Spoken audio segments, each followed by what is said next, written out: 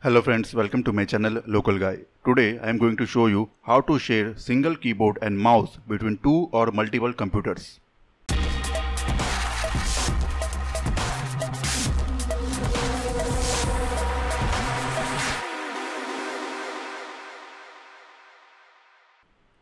Here for demonstration I have two laptops. I have connected keyboard and mouse to only one laptop. Now I want to use the single keyboard and mouse between these two computers.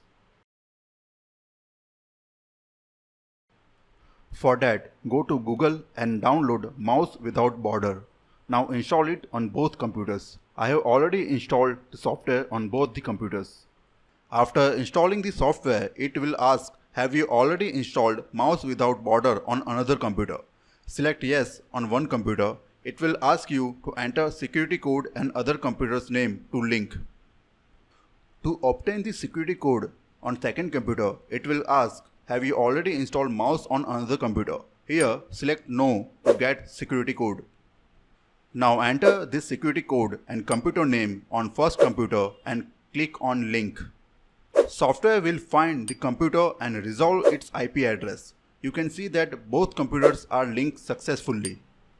Now let's check if it works or not. Here I have opened the notepad on both the computer. Let's type hello world on first computer. It will work cause mouse and keyboard connected to first computer.